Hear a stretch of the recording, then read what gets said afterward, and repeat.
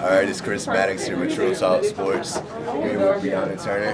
Um, they just went on to the next round. They'll be here tomorrow.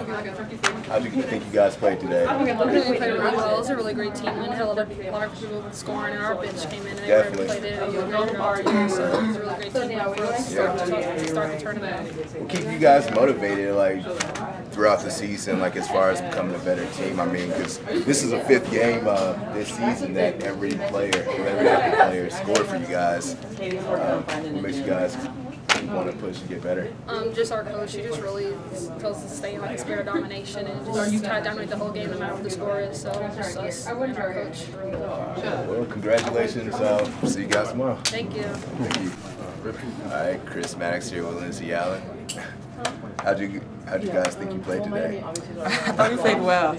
Uh, I think we did a good job kind of really controlling the, uh, the boards, which is against a great rebound team in Duke. And then uh, really got out in transition, pushed the ball a little bit because we knew they would get tired easily. They just played yesterday. So we really just focusing on our scouting report, focusing on our personnel. Been able to catch any Miami games? Yeah, we watched a little bit in the second half uh, when they just played before us and then yesterday. But we have a ton of confidence right now, so it should be a great game. They're going to give us a best shot. What was going through your mind when you uh, crossed up old girl? I about fell out of my seat. Uh, honestly, I was just trying to score. Um, I was just trying to get by her and score a layup, but you know, I'll take I'll take the crossover and her falling at me. Comes with a few perks are, are good. So yeah, it was good. All right, well, good luck. Uh, good luck to you guys. Thank you, thank you.